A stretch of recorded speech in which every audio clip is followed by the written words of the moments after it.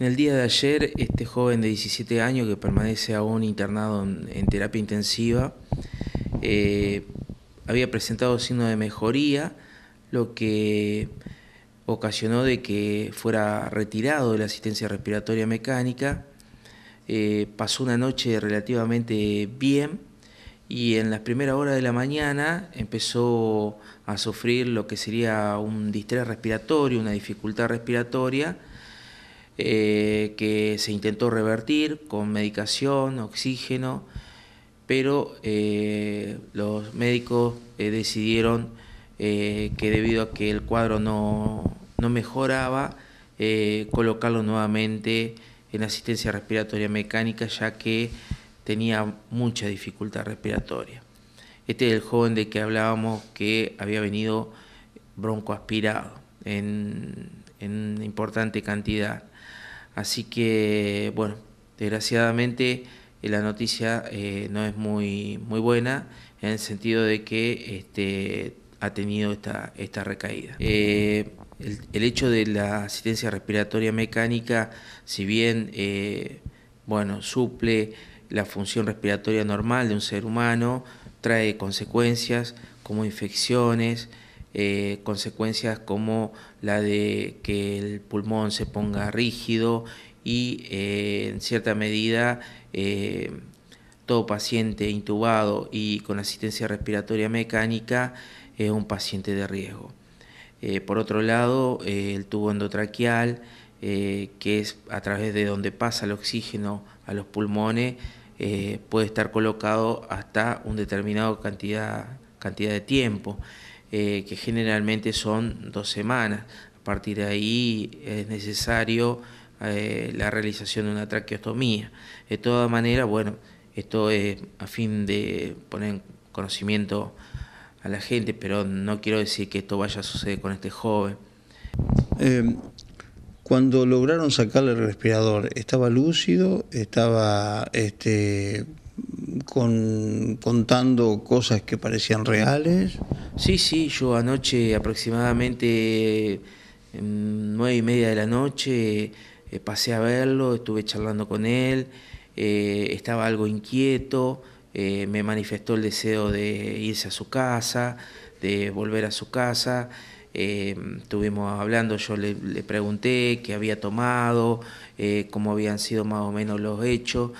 Si bien no fue muy explícito, bueno, él me contó que, eh, había tomado alcohol y, no había ingerido ninguna otra sustancia y que tenía un trabajo que no era formal, que él hacía changa de albañilería, de electricidad, de plomería y que bueno, que sí, que los fines de semana él este, solía tomar y tomar mucho.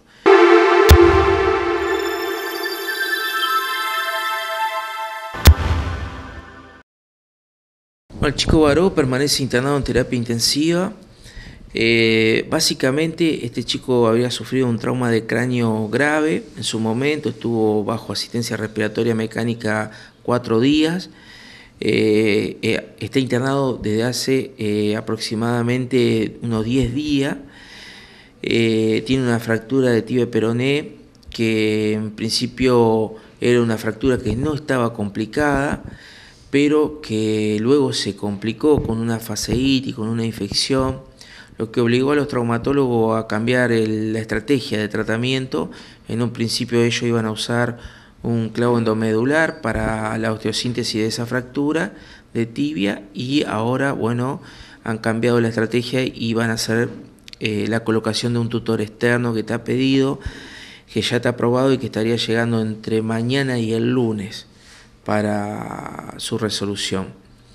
Está con un yeso y su estado neurológico, Miguel, es alternante debido a la conmoción cerebral. Él tiene días buenos en lo que puede mantener, podríamos decir, una cierta conversación y por momentos eh, entra en lo que sería un cuadro de desorientación, un cuadro confusional. Propio de estos eh, golpes, como vos decías, muy fuertes que han ocasionado una conmoción, un edema cerebral. Yo creo que es el, con él el, trabajo de día a día y que va a llevar un tiempo muy importante la rehabilitación y la neurorehabilitación de este joven. O sea que es un trabajo de los neurólogos muy importante, ¿no? Sí, más que del neurólogo, de un equipo, porque acá van a tener que trabajar con él kinesiólogos, fonoaudiólogos, psicólogos y la parte médica, por supuesto. Pero estos accidentes tan graves como el que sufrió este, pueden dejar secuela.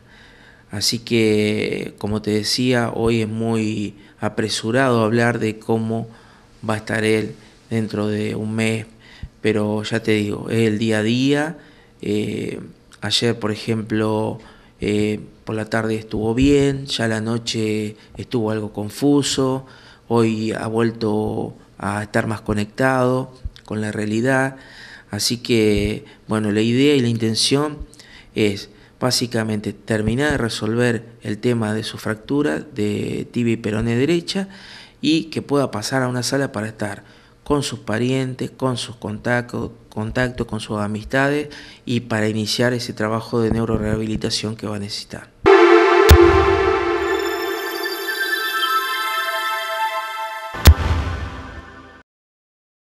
Este es un chico de 14 años eh, que tendría un retraso eh, mental eh, que pertenece a un grupo de una familia muy vulnerable en lo social, en lo económico, y que ingresó al hospital por un cuadro de impetiginización. Esto es una infección que se produce por este parásito que tenía en la cabeza y que debido al continuo rascado la piel y el cuero cabelludo se infecta y una infección que eh, fue muy importante en cuanto al área y que obligó a internarlo para colocarle antibióticos a, través de la vena.